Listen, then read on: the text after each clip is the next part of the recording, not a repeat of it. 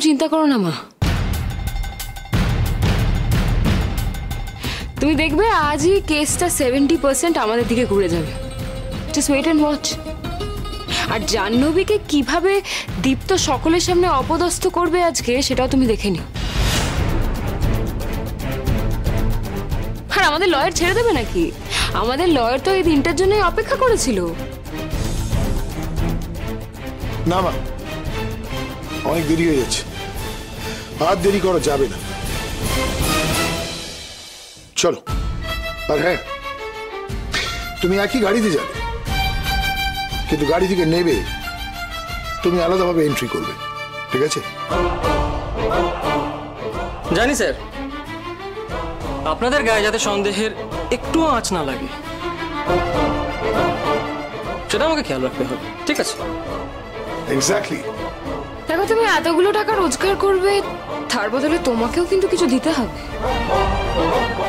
নিশ্চয় ম্যাম আমি নিজেকে একেবারে উজাড় করে দেবো। আপনারা একশো ভাগ খুশি হয়ে যাবে দেখে নেবেন। আসুন।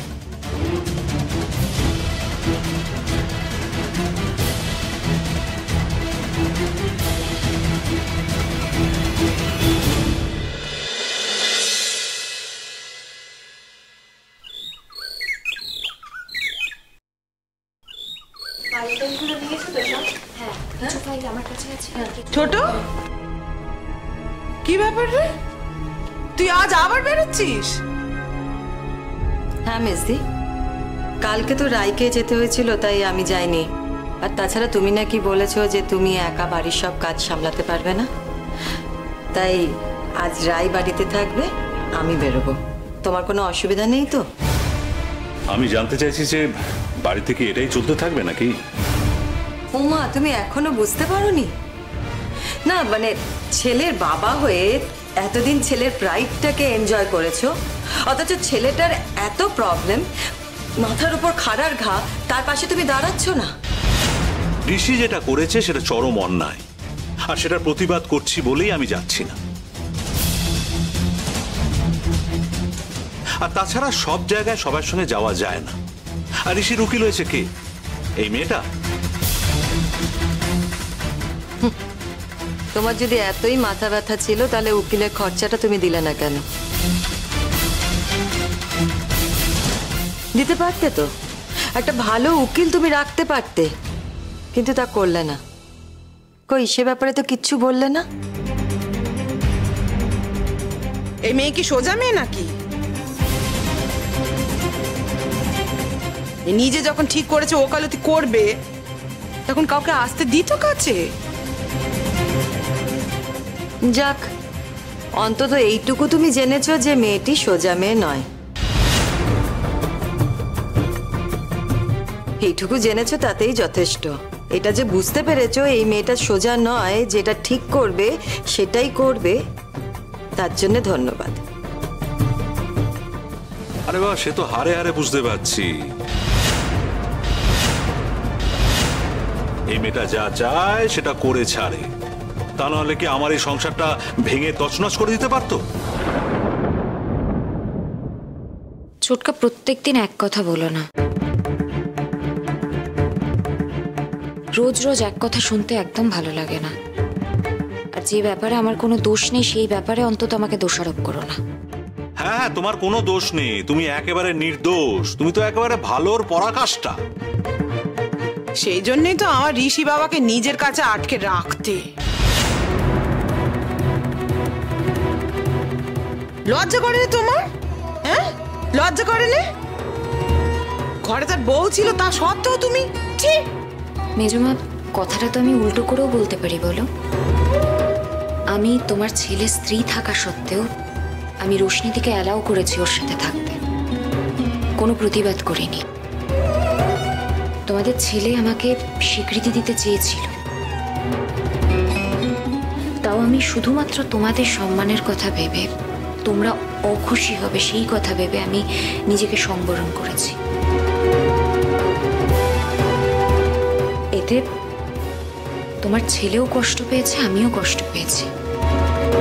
তাও সবকিছু হাসি মুখে মেনে নেওয়ার চেষ্টা করেছি। সেই দিনগুলোর কথা মনে পড়ে না, মেজমা? আচ্ছা বলো তো, একজন স্ত্রী যদি চোখের সামনে তার স্বামীর দ্বিতীয় বিয়ে দেখে। তার মনের অবস্থা কীরকম হতে পারে? তোমার কোনো ধারণা আছে? মেজমা কিছু মনে করো না। ছোট মুখে বড় কথা বলছি বলে। আসলে তোমার জীবনের ঘটনা খানিকটা জানি বলেই বলার সাহস করছি। এই যে মেজ জেঠু তোমাকে ছেড়ে চলে গেছে। তুমি শুনেছ যে উনি বিয়ে টিয়ে করে সংসার করছে? তুমি তো সেই আক্ষেপ ভুলতে পারোনি, বলো।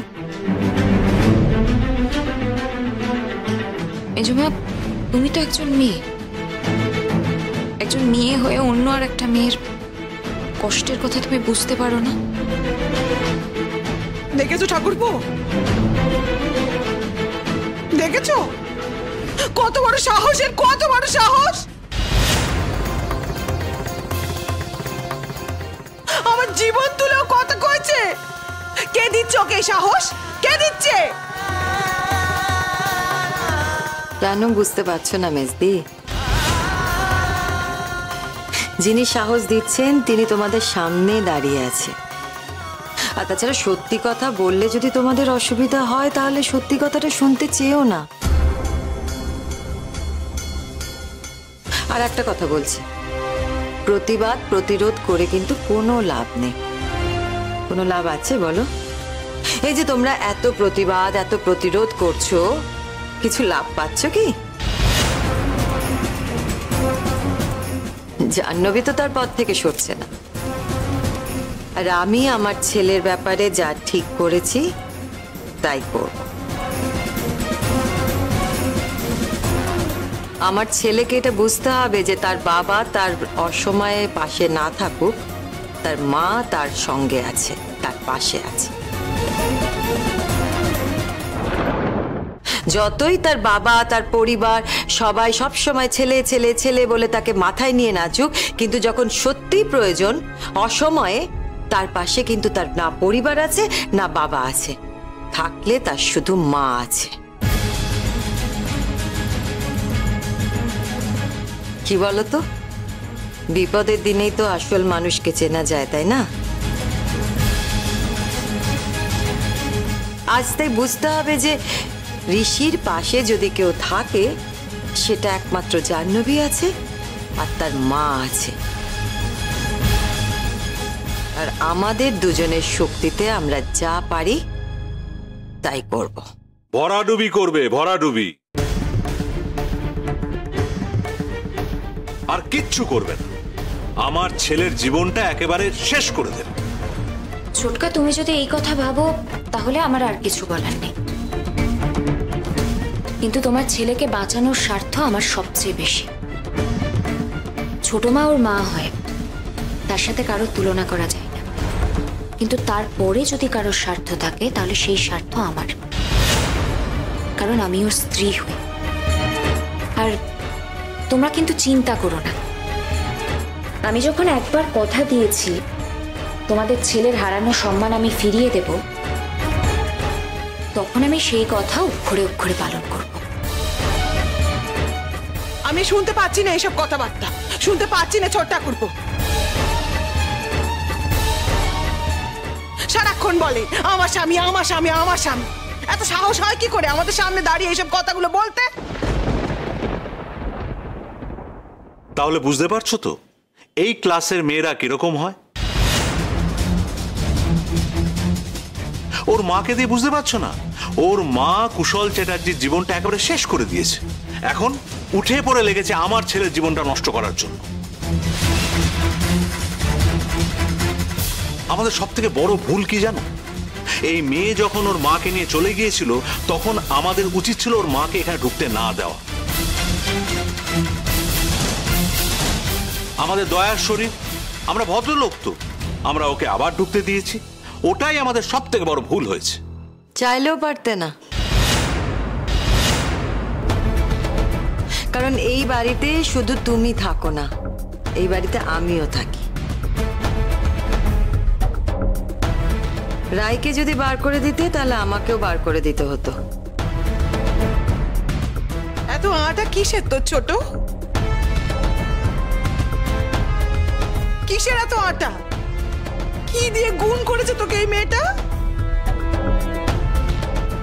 সংসার ধর্ম সব কিছু ভুলে গেছিস। স্বামীর সাথে ঝগড়া করছিস, আমার সঙ্গে ঝগড়া করছিস? ওকে তো আমি ছোট বোনের মতো দেখতো। তুইও আমাকে দিদির মতোই দেখতিস। কোথায় গেল সেই সব দিনগুলো? কোথায় গেল? ভুল করেছিলাম মেজদি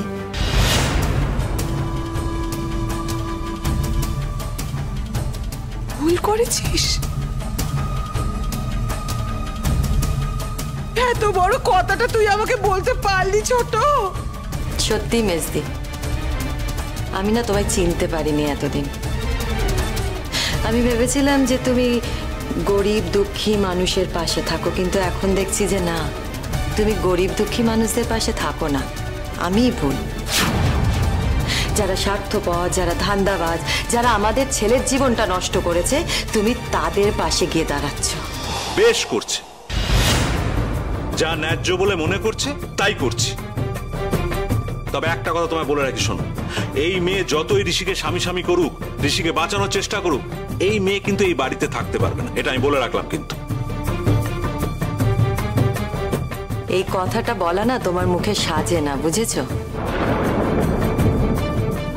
যার ছেলে এত বিপদে আছে, তাকে সাহায্য না করে তুমি এই কথাগুলো বলছো? আর তোমার কি মনে হয়? তোমার কি মনে হয় যে ঋষি এই মেয়েটাকে নিয়ে এই বাড়িতে না থাকলে আর থাকার কোনো জায়গা থাকবে না? পৃথিবীতে অনেক জায়গা আছে যেখানে আমাদের ছেলে ঋষি এই মেয়েটাকে নিয়ে থাকতে পারে। সেটাই তো এখন বাকি আছে। ছেলেটাকে বাড়ি ছাড়া করবি, তবে তো শান্তি হবে ছোট। তোমার কি মনে হয়, মেজদি? আমার ছেলেটা জেলে রয়েছে বলে ও কিছু বুঝতে পারছে না। এই বাড়িতে এই অসময়ে ওর পাশে কে আছে আর কে নেই সেটা ও বুঝতে পারছে না। যখন পুলিশ ছেলেটাকে কোর্টে নিয়ে এসে দাঁড় করায় না তখন দেখতে পায়। দেখতে পায় যে কারা কারা আছে ওর সঙ্গে। অন্যের কথা তো ছাড়ো। ওর বাবাই ওর পাশে দাঁড়াচ্ছে না। আমার ছেলেটার কপালে যা আছে, তাই হবে। তবে কি জানো তো? আমি এটা বিশ্বাস করি যে লক্ষ্মী যখন ওর কপালে একবার এসেছে, তখন আমার ছেলেটার লক্ষ্মী ছাড়া হবে না। ওর জীবন থেকে অলক্ষ্মী বিদায় নিয়ে লক্ষ্মী এসেছে। আর লক্ষ্মী যখন একবার এসেছে না নিজের ঘরে, তখন অলক্ষ্মীকে আর এই ঘরে স্থান দেবে না। দেখব দেখব। এই প্রেম কতদিন থাকে সেটা আমি দেখব। এই মেয়ে যেদিনকে তোমাকে নাকের জলে, চোখের জলে করবে না, তখন তুমি বুঝতে পারবে এই মেয়ে কত ধরিবাজ মেয়ে। বুঝেছ? আচ্ছা ছোটকা, তুমি এই ভবিষ্যতের কথাগুলো কি করে আগে থেকে বলছো বলো তো? যদি কোনোদিন এই ঘটনা ঘটে, তখন না হয় বলো। তুমি তো পামিস্ট নও। আর জ্যোতিষশাস্ত্রে তোমার কোনো অবদান আছে বলে আমার অ্যাটলিস্ট জানা নেই। দেখো, আমি ছোট মুখে বড় কথা বলব না। আমি বলব না যে আমি প্রমাণ করে দেব। সময় উত্তর দেবে। আর একটা কথা বলি আমার কপালে যদি স্বামী ভাগ্য না থাকে তাহলে আমি আমার স্বামীকে কোনোদিনও কাছে পাবো না। কিন্তু যদি আমার কপালে স্বামী ভাগ্য থাকে তাহলে পৃথিবীর কোনো শক্তি তাকে আমার থেকে দূরে রাখতে পারবে না। হয়েছে জাহ্নবী কেন এত কথা বলছিস তুই? কত সময় নষ্ট হচ্ছে বলতো? ভুলে গেছিস আজকে একটা ইম্পর্ট্যান্ট হিয়ারিং আছে? চল। ভুলিনি ছোট মা। আসলে এই ঘটনাগুলো তো আমার ওপর দিয়ে যাচ্ছে। চল আসছি।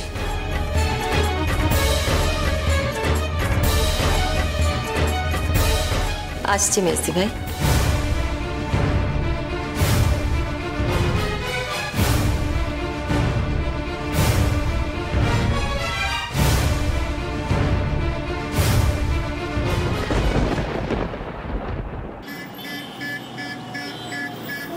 ইয়োর অনার আজকে আদালতে উপস্থিত আছে দীপ্তজিৎ রায় চৌধুরী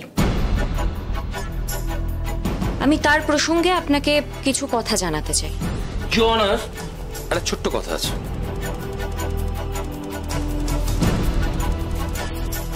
এই যে মেয়েটি বলছে যে দীপ্তজিৎ রায়চৌধুরী এখানে এসছে, মেয়েটির হাব ভাব দেখে মনে হচ্ছে দীপ্তজিৎ রায়চৌধুরীকে চিনত।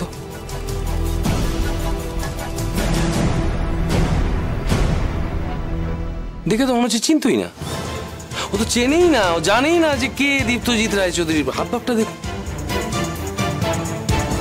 ইয়ে অনার অ্যাকচুয়ালি দীপ্তজিৎ রায়চৌধুরী হচ্ছে ওর legal husband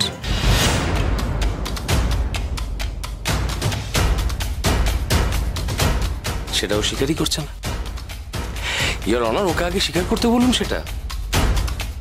Point to be noted your honour objection your honour আমি প্রথম দিনই দীপ্তজিৎ রায়চৌধুরী সম্পর্কের সমস্ত কথা আপনাকে বলেছিলাম, এবং তার রেকর্ডও আছে।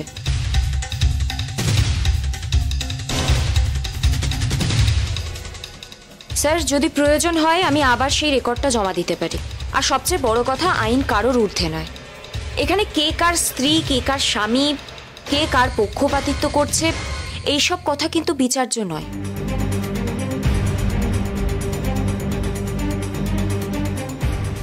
আশা করি আমি আমার বক্তব্যটা আপনাকে বোঝাতে পেরেছি। আপনি বসুন। ওকে ইয়োর অনার আপনি বলুন। ইয়োর অনার এই সেই দীপ্তজিৎ রায়চৌধুরী যিনি আমাকে রোজ কলেজে যাওয়া আসার পথে ফলো করতেন।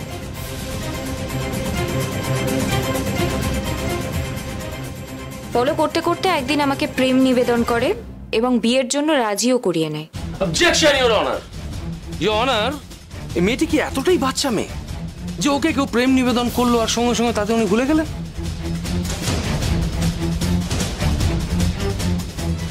উনি বিয়েতে রাজি হয়ে গেলেন? আচ্ছা এদি- এদিকে তো উনি নিজেই বলছেন যে অনেক আগেই ঋষি সেন ওনার স্মৃতিতে সিঁদুর পরিয়ে দিয়েছেন।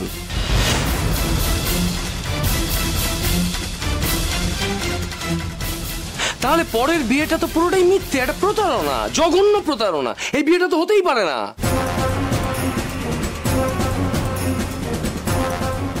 উনি তো সত্যি কথা কাউকে কোনোদিন বলেনি। আমি এইটুকুই আপনার মনোযোগ আকর্ষণ করতে চাই ইয়োরনাথ স্যার উনি কি আমাকে বলার সুযোগটা দেবেন? নাকি বারবার ইনি আমাকে আক্রমণ করবেন যাতে আমি কোনো কথাই বলতে না পারি? উনি যা বললেন সেটা আমি নোট করলাম। এবার আপনি বলুন আপনার কি বক্তব্য? ইয়োর অনার আমি আপনাকে আগেও জানিয়েছি ঋষি সেন আমাকে যে সিঁদুরটা পরিয়েছিলেন, সেটা আমি পরের দিনই তুলে ফেলি।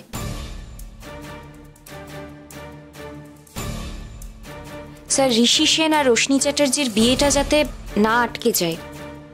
বিশেষ করে তৃতীয় একজন মানুষের জন্য যাতে তাদের বিয়েটা না ভেঙে যায়, সেই কথাটা ভেবেই আমি শুধুমাত্র এই কাজটা করেছি।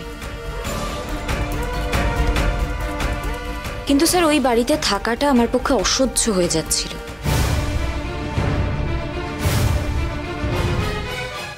এই রশ্মি চ্যাটার্জি আমাকে দিন দিন এত টর্চার শুরু করে যে আমার পক্ষে মর্মান্তিক হয়ে উঠেছিল ওই বাড়িতে থাকাটা। আমার মনে হয়েছিল আমি যদি এই বাড়ি থেকে চলে না যাই, তাহলে এই রোশনি চ্যাটার্জির করাল গ্রাস থেকে আমি বাঁচতে পারব না।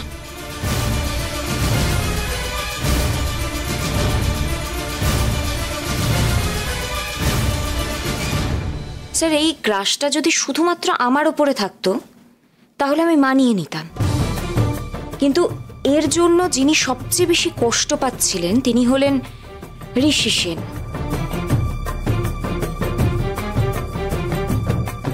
এই কথা ভেবেই আমি ওই বাড়ি থেকে চলে যাওয়ার সিদ্ধান্ত নিই।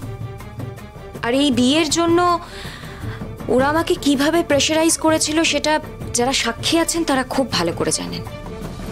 মিথ্যে কথা, স্যার।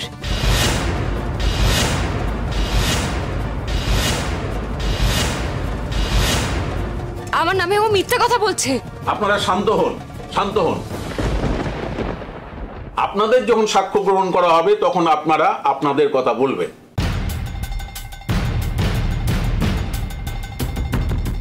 স্যার আমি কোনো কিছু রেকর্ড করে রাখি। কিন্তু একটা কথা মনে রাখবেন যে একজন মানুষ কতটা কষ্ট পেলে যাকে সে নিজের স্বামী বলে মনে মনে গ্রহণ করেছেন তার বাড়ি থেকে চলে যাবে।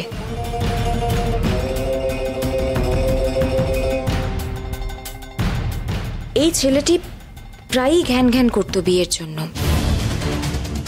এবং তারপরে একদিন আমি রাজিও হয়ে যাই। আমি ভেবেছিলাম যে আমার জীবনটা তো এমনিই শেষ হয়ে গেছে। আর কি বাড়তি ক্ষতি হতে পারে? তাই জন্য আমি বলেছিলাম যে, ঠিক আছে, আমি বিয়ে করব। আর এই ছেলেটিকে বিয়ের জন্য যারা লেলিয়ে দিয়েছিল, তারা হলো এই কুশল চ্যাটার্জি আর তার মেয়ে রোশনি চ্যাটার্জি।